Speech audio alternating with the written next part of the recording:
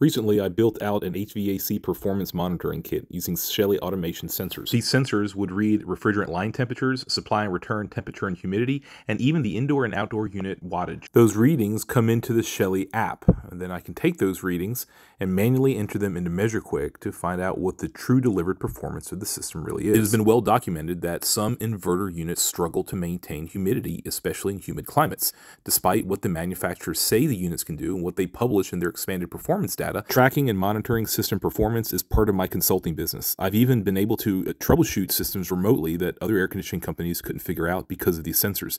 Now I'm going to be monitoring this system's performance during summer and winter, tracking its latent and sensible capacity as well as heating capacity in real time. And here is the unit that we're going to be installing it on. This is a P-Series Hyperheat Mitsubishi inverter heat pump, three and a half ton, it has a multi-positional air handler on the inside. We've got a little tent set up because it is a very rainy day, uh, but we're going to be installing some of the sensors here, the rest of them at the indoor unit.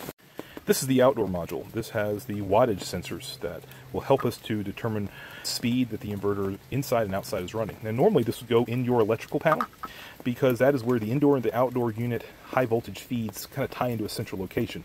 With the case of this unit though, the indoor unit is powered by the outdoor unit. And so the central location where that high voltage lines split off is actually in this outdoor unit. So that's where we're going to mount this.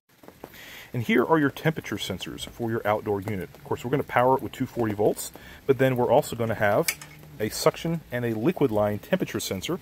And the third temperature sensor that comes off of here is going to be our outdoor temperature. The modules are way back here now. They're affixed using some magnets. The power module is going to go right here and read the power being sent to the indoor unit, as well as the power being sent to the compressor over there.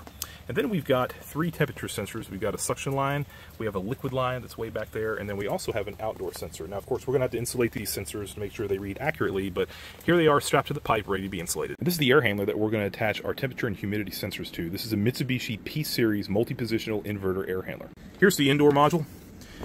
And there's two sensors that's connected to the Shelly module inside. There's going to be a return air temperature and humidity sensor. You might drill a hole in your duct to put this sensor in there. We were able to fish it through and get it in the return. This is before the coil. And then we also have a supply temperature and humidity sensor. We were also able to fish that through the air handler, and that is in front of the coil. So pretty much all we're trying to do is get a coil entering and leaving temperature and humidity, which is going to help us to calculate the delivered capacity. We started to log data in October, first turning the set point all the way down to watch the unit run wide open, and then watching it as it maintains set point. And the results were pretty astonishing, as this picture shows a 59 degree supply air temperature when the unit is maintaining set point. You're not going to be doing a lot of dehumidification putting out 59 degree air, but we'll have plenty of more analysis as we get the data in. For now, I hope this subject interests you. Thanks for watching, and see you next time.